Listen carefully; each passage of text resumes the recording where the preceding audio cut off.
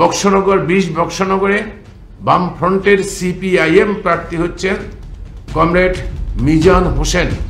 আপনারা জানেন কমরেড মিজান হোসেন হচ্ছে শুনে থাকবেন হয়তো যে আমাদের যে প্রয়াত, আমাদের যে এমএলএ ছিলেন শামসুল হক।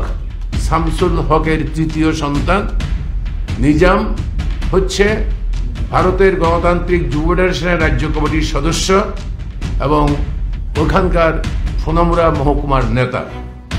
আর তেইশ বক্সনগরে আমাদের প্রার্থী হচ্ছেন, এই তো চার মাস আগে, পাঁচ মাস আগে যে নির্বাচন হয়ে গেল আমাদের যে প্রার্থী ধনপুর ধনপুর ধনপুর কেন্দ্রে, আমি দুঃখিত, ধনপুর কেন্দ্রে আমাদের প্রার্থী হচ্ছে।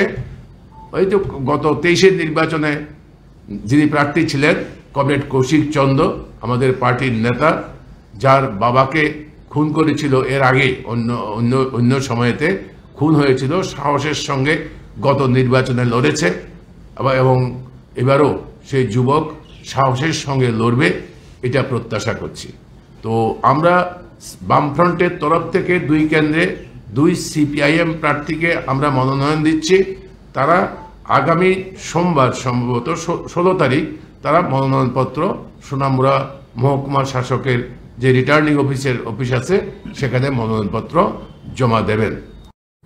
বামফ্রন্ট বক্সনগর, বিশ বক্সনগরে বামফ্রন্টের সিপিআইএম প্রার্থী হচ্ছেন কমরেড মিজান হোসেন।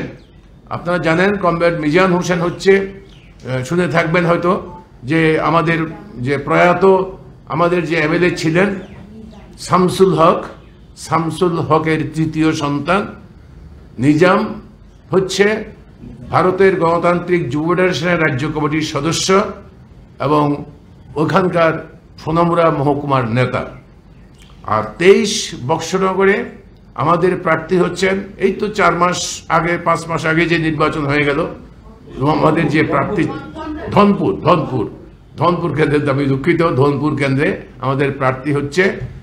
ওই তো গত তেইশের নির্বাচনে যিনি প্রার্থী ছিলেন কমরেড কৌশিক চন্দ, আমাদের পার্টির নেতা, যার বাবাকে খুন করেছিল এর আগে, অন্য অন্য অন্য সময়েতে খুন হয়েছিল, সাহসের সঙ্গে গত নির্বাচনে লড়েছে। এবং এবারও সেই যুবক সাহসের সঙ্গে লড়বে, এটা প্রত্যাশা করছি। তো আমরা বামফ্রন্টের তরফ থেকে দুই কেন্দ্রে দুই সিপিআইএম প্রার্থীকে আমরা মনোনয়ন দিচ্ছি। তারা আগামী সোমবার সম্ভবত ষোলো তারিখ তারা মনোনয়নপত্র সুনামুরা মহকুমার শাসকের যে রিটার্নিং অফিসের অফিস আছে সেখানে মনোনয়নপত্র জমা দেবেন।